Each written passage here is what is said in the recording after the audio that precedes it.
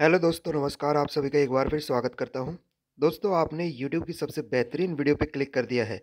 आज की वीडियो में हम बात करेंगे, आप लोगों के लिए बहुत अच्छी खबर है, जो अभी अभी आपका राजस्थान का वीडियो का पेपर हुआ है। बहुत ही आसान ये पेपर आ गया है, जैसा हमने उम्मीद किया था। ठीक है? अगर आज आपने यह वीडियो पूरा देख लिया, हंड्रेड परसेंट आप लोग सिलेक्शन के करीब हो। क्योंकि जो भी क्वेश्चन आज की पहली शिफ्ट में पूछे गए, सभी को मैं ट्रिक से कराऊँगा।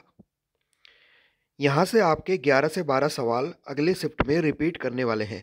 सभी सवालों को मैं लॉजिक से बताऊँगा, आप लोग सपोर्ट करते हुए चलेंगे। ठीक है?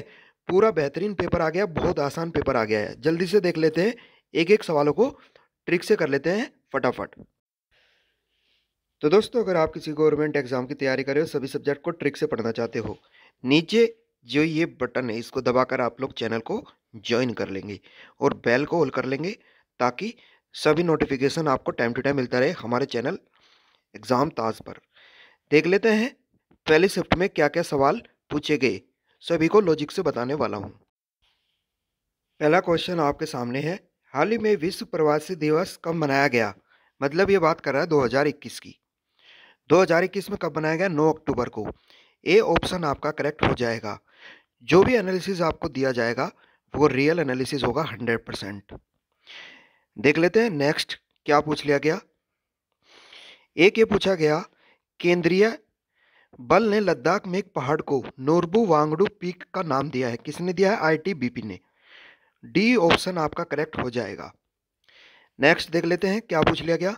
एक ये भी पूछा गया, हाल ही में यूनेस्को के अनुसार भारत के किस राज्य में दो हज़ार छः सौ इकतीस स्कूलों में केवल एक शिक्षक है? तो ये आपका है किसमें? तमिलनाडु में। बी ऑप्शन आपका करेक्ट हो जाएगा।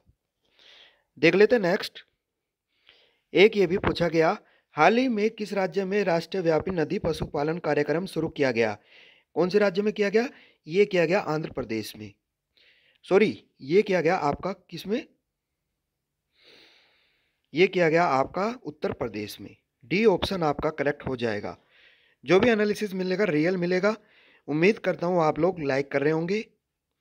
और आप लोग ज्वाइन भी कर रहे होंगे। ठीक है? करते रहेंगे। बहुत बेहतरीन ये प्लेटफॉर्म है। नेक्स्ट देख लेते हैं।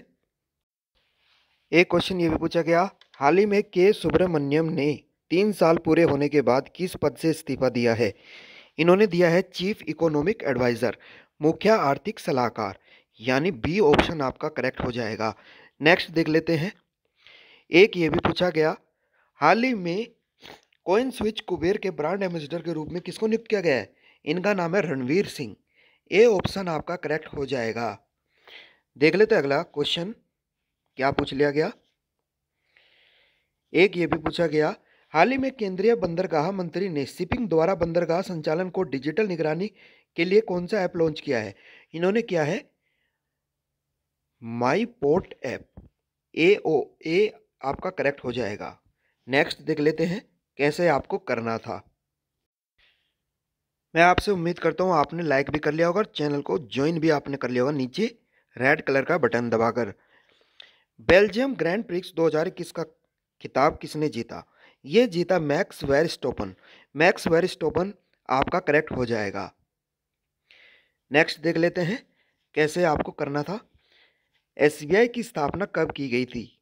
एसबीआई की स्थापना कब की गई थी? वर्ष 1995 में। 1995 आपका करेक्ट हो जाएगा। नेक्स्ट देख लेते हैं। न्यूयॉर्क की पहली महिला गवर्नर कौन बनी? इनका नाम है कैथी होचुल कैथी होचुल आपका करेक्ट हो जाएगा। पेपर आपका इजी था। अगर आज आपने यह पूरा देख लिया तो 100 परसेंट आप लोग सिलेक्शन के करीब हो। नेक्स्ट देख लेते हैं, क्या पूछ लिया गया? राष्ट्रीय इस्पात निगम लिमिटेड का मुख्यालय कहाँ पर स्थित है? ये आपका है विशाखापट्टनम, जिसकी स्थापना की गई 1982 में। ये भी आपको याद रखना है। अगला देख लेते हैं, क्या पूछ लिया गया? एक ये भी पूछा गया, मोहिनी अट्टम किस राज्य की प्रसिद्ध राष्ट्रीय नृत्य है? तो ये आपका केरल राज्य का एक प्रसिद्ध डांस है। ये भी आपको याद रखना है, हंड्रेड परसेंट आपके एग्ज़ाम में आएगा। नेक्स्ट देख लेते हैं, लाइक करते हुए चलेंगे और ज्वाइन करते हुए आप लोग ज़रूर चलेंगे। नेक्स्ट देख लेते हैं, क्या पूछ लिया गया? एक ये भी पूछा गया, डच ग्रांड प्री 2021 किसने जीता? ये जीता मैक्स वेर स्टेपन ने। सी आपका करेक्ट हो जाएगा। नेक्स्ट। नेक्स्ट देख लेते हैं।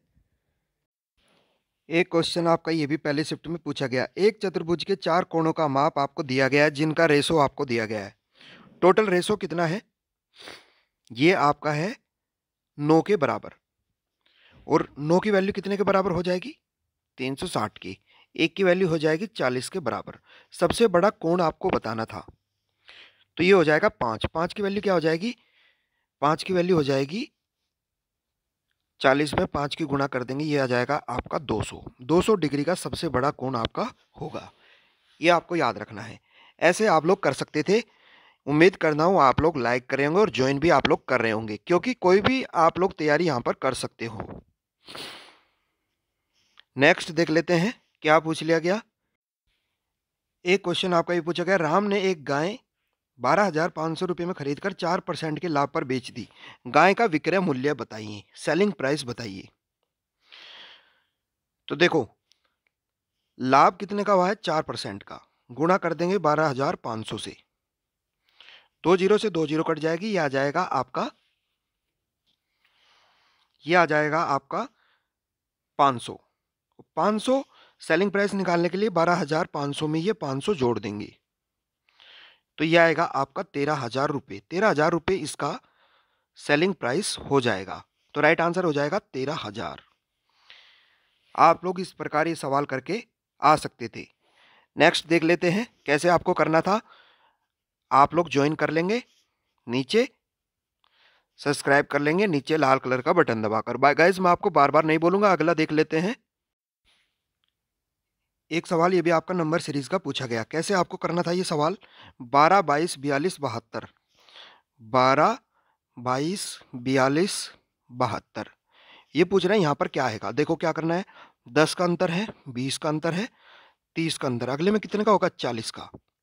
तो ये हो जाएगा आपका 112 112 जब आप बहत्तर में 40 जोड़ोगे तो ये आएगा 112 112 आपका करेक्ट हो जाएगा। आप लोग इस प्रकार ये क्वेश्चन करके आ सकते थे। नेक्स्ट देख लेते हैं, क्या पूछ लिया गया।